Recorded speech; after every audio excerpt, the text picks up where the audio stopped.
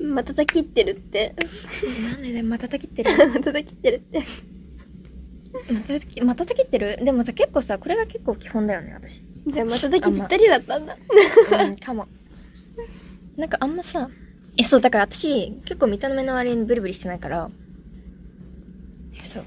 そう、曲中歌番とかじゃないから。やばい。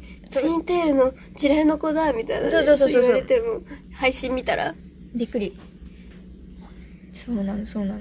だからさ、そういうとこだよね。イメージ的に。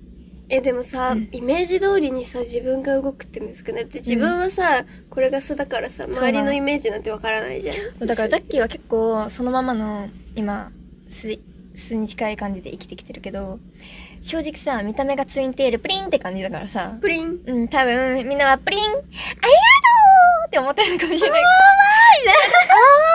いな思ってるちょっとやめてわわわわわってちょっと普通にやばいやつお手洗い知らない知らないお花詰めに行ってきます感じじゃないからさ、本当にごめんねって感じなんだけど、ごめんね。今日も来てくれたな。やめようもういい、もういい、もういい、もういいって感じじゃないから。うん、そうそうそう、ちょっと違うから。うん。ちょっとそういうタイプじゃないからさ、ごめんねって感じ。あんまり。りないよ、今の。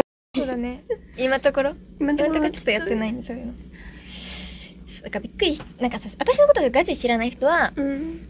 多分、イメージダウンしちゃうかもしれないけど、なあ、いいよね。来るんじゃないの？みそうたいな。そうそうそう。私は、自分で生きていこうと思って。大丈夫。一生反抗期よりはいいよ。いいじゃん、一生反抗期。だって、のんちゃんがしてるから可愛いんだよ。一生反抗期。おら、おら。可愛い。オラオラしてくれてありがとう。オラオラしてる。嬉しい。もうね、うんうん。反抗期って直したくて直せるもんじゃないからね。